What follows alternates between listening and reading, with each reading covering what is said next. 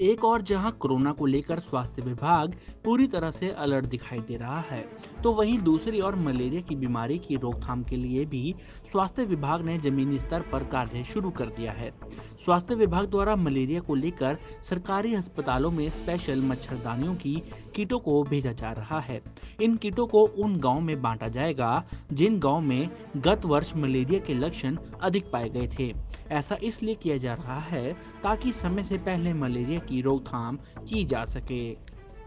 जैसे आप देख रहे हैं, मलेरिया का सीज़न आने वाला है तो हमने इससे पहले की मलेरिया पहले हम अपनी तैयारियाँ पूरी कर रहे हैं। और ये जो किट्स हैं, इनको हम कहते हैं लॉन्ग लास्टिंग इंसेक्टिसाइड टेट्स इसके अंदर क्या है कि ये हम मच्छरदानियाँ देंगे, जिसके अंदर एक लेप लगा होता है, और मच्छर इसके आसपास नहीं आते मच्छर से। तो ये तीन साइजेज में है, जो हम अपने दो सब सेंटर हैं सब सेंटर घिलौर और सब सेंटर अल्हार सब सेंटर घिलौर जो है उसके अंदर हमारे जो गाँव है वो आते हैं खुद घिलौर है दौलतपुर और हिरन छप्पर और उधर से करतारपुर और अलार। इनके अंदर हम ये बांटेंगे साइजेस तीन साइज़ के अंदर ये मच्छरदानियाँ हैं जो एक बेड के लिए या एक चा, खाट चार पाई के लिए दो के लिए और डबल बेड के लिए।